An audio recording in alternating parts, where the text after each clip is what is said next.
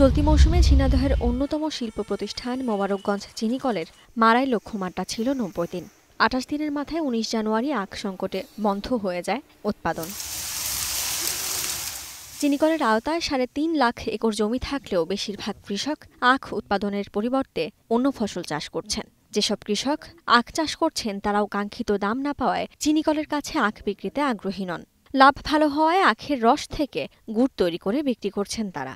আখ চাষে ফলন আছে কিন্তু আখের যে মূল্য এই মূল্যটা কম হয়ে যাচ্ছে। মূল্যর জন্যই জনের যে খরচ করছি এই খরচ আমরা মিটাতে পারছি না। অন্য একটা চাষ করলে তিনবার আমি মেটাতে পারি।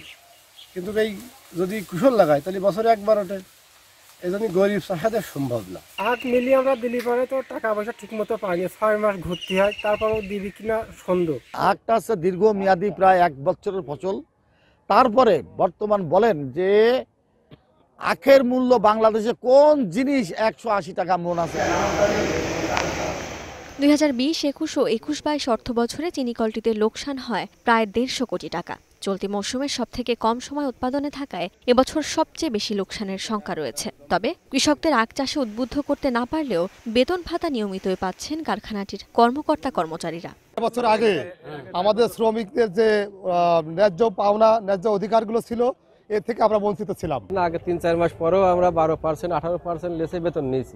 এখন আমরা কোনো লেস বাদে মাসের দুই তারিখে বেতন পাচ্ছি। সরকার আখের দাম বাড়ানোর কথা বলেছে যদি আখের দাম সত্যি সত্যি আড়াইশো টাকা দেয় ইনশাল্লাহ কাঁচামালে আমাদের আর ঘাটতি থাকবে না। অনেক অনেক দাবি যা বিগত ইউনিয়নরা দিয়ে যেতে পারেনি রোটেটিং শিপ ঝুঁকি ভাতা নাইট অ্যালাউন্স অনেক কিছু।